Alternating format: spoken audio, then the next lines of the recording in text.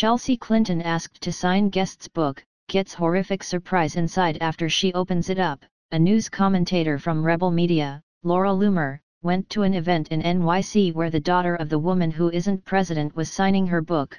Chelsea Clinton was there in the flesh, promoting her book titled She Persisted when Loomer approached her in the most savage way possible.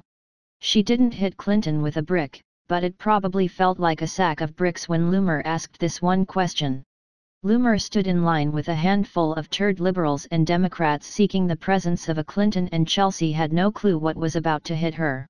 The video, by Rebel Media, is absolutely hilarious in the most nefarious way possible. Rape is no laughing matter, but when your old man is accused of rape and he's a former president who had alleged sexual relations with an intern, then you're really stuck between a rock and a hard place, whatever the hell that even means. Perhaps her head is like a bucket of rocks and the hard place is how we are gathered here today to get through this thing called life. Let's go crazy. Watch the video and listen to Loomer drop the bomb question while the spawn of Hillary immediately shuts down and ignores the question about Bill Clinton's rape allegations involving Juanita Broaddrick. Laura Loomer, a rebel media commentator attended an event in New York City where Chelsea Clinton was signing books. Chelsea's book is called She Persisted and is about women who never take no for an answer. Laura Loomer says she purchased a book and asked Chelsea to sign it for my friend Juanita Broaddrick, a woman who was silenced, but persisted.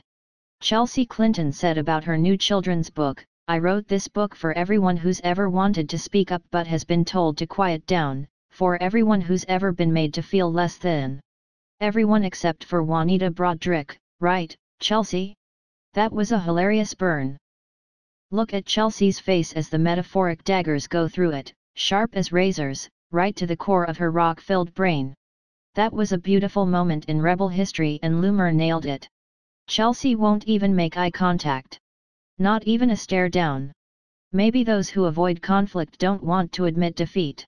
She's acting like she's taking the higher road, but in reality, she just got owned big time and she can't even take it like a champ. She should have signed the book. That would have made this video boring and pointless. Chelsea Clinton could have signed the book and wrote Keep Truckin' and that would have been hilarious too. Who is Juanita Broaddrick? She's the woman in her 70s who claims she was raped by Bill Clinton when she was 35 years old, in 1978, and Billy was the Arkansas Attorney General. She made this claim in 1999, 21 years later, but no one knows if it's true or not. And quite frankly, I don't think anyone really cares. Why would someone get raped and wait 21 years to say anything? Bill Clinton didn't even have much power back then, so what was she so scared of? If she's telling the truth, then she was either paid off or scared as stiff as Billy with an intern to say anything. And there's the possibility that maybe she's full of crap because who waits all those years to say something? People have high doubts about anyone who waits 20 years to claim they were raped. If I was raped by Bill Clinton, or any member of government, then I'd be at the hospital and police station right after they pulled out, jumping for joy, getting ready to collect my check from the man. You better believe it, I would be cashing that settlement check faster than the Tasmanian devil can spin. You thought Usain Bolt ran fast? Have you ever cashed a million dollar settlement check? Well, if you have, then you know you run to the bank faster than a locomotive or a speeding bullet. I hate to break the news to people who hate Clinton, but anyone who waits that long to accuse someone of rape was either silenced by someone deep undercover or a complete idiot and hard to believe. If you get raped and don't say anything for 20 years, then who's really going to believe it without some sort of substantial or physical evidence? Can she describe Bill's penis?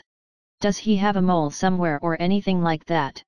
Juanita Broaddrick is either someone who was violently silenced or a liar. Did Bill Clinton hook up with her? Who knows and who cares? Whatever happened in 1999 should have been solved back then. What can authorities do? Scrape some prehistoric DNA off the two of them and make a match. The lady, if she's telling the truth, doesn't have an ounce of evidence. She should have saved her clothes from the night of the alleged rape, or you know, do the smart thing and go to the police or hospital to get something on record. Was she threatened by the Clintons? Beats me. If she was threatened back then when they weren't as powerful, then why is she coming out with this news now? What was the point? Is it because she's old and doesn't care anymore? What if what she's saying is true? Then how does someone prove that a rape happened 20 plus years ago? It's probably next to impossible. I don't know what's true about her and Bill Clinton and I certainly don't care. Let them figure it out. Chelsea's book is dedicated to women who've been silenced or told no and have persisted. I know one lady who's been told no twice. Chelsea's mother. She's not the president. Please do not forget like on videos, and subscribe, and comment because your voice matters, and visit our page on Facebook, and like them, and follow up. And thanks for watching.